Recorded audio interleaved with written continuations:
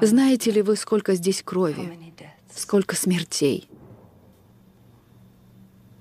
Знаете ли вы, сколько ненависти в этих пленках? Знаете, зачем мы это записываем? Нет, почему? Перед Холокостом Адольф Гитлер собрал своих помощников, чтобы убедить их в том, что его план сойдет им с рук. Он спросил их, кто помнит уничтожение армян? Вот что он спросил.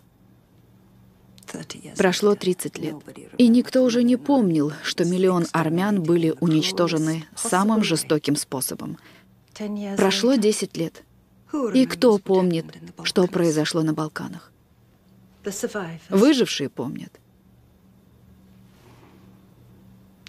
Те, кому удалось, благодаря какому-то капризу судьбы, остаться в живых, чтобы рассказать о том, что было, если они это смогут сделать. Те, кто стыдятся того, что выжили. Как Хана. Да. В этом ирония судьбы, если ее можно так назвать. Они стыдятся того, что им удалось выжить.